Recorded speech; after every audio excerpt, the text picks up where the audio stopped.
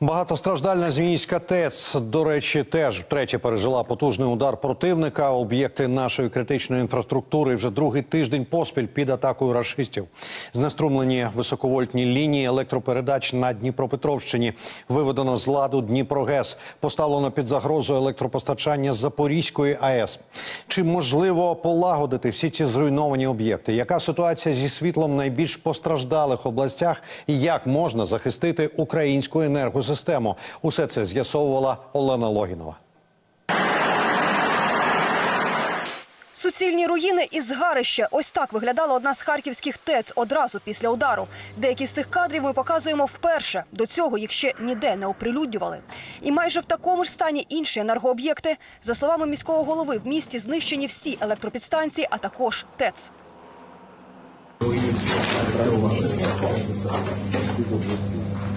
Усі сили в місті кинули на відновлювальні роботи, проте вже зараз зрозуміло, масштаби катастрофічні. Тож для ремонту та запуску знадобиться дуже багато часу. Харків вимушений заощаджувати. Вечірнє вуличне освітлення взагалі відсутнє. Наземний електротранспорт не працює. Його замінили автобусами.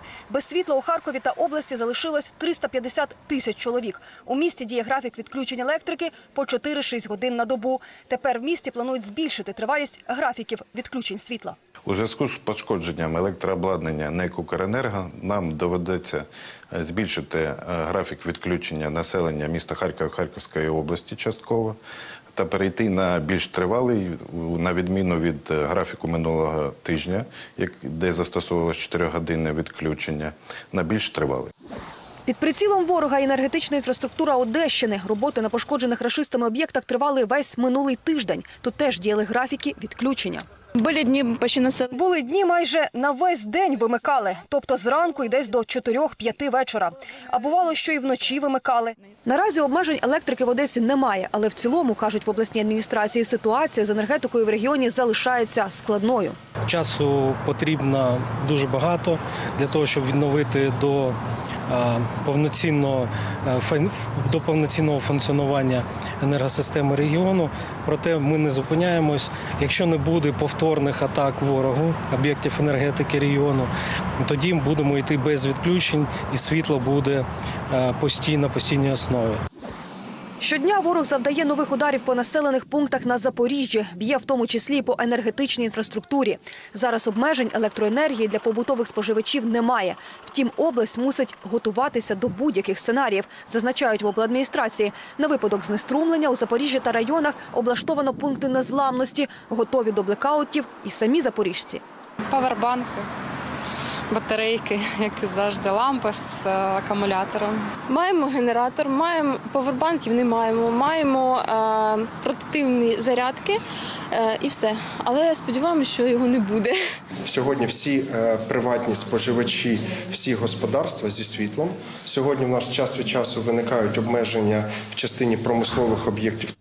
Із ліхтариками та генераторами живуть люди на прифронтових територіях Запорізької області. Відновити побиті там електромережі енергетикам заважають щоденні інтенсивні обстріли. Чимало часу та ресурсів знадобиться і на те, щоб відновити пошкоджену ворожими ракетами Дніпровську ГЕС. Станція не працює вже два тижні. Цілому ситуацію по країні вдалося стабілізувати, кажуть Міненерго. Звичайно, зараз на руку нам і тепла погода.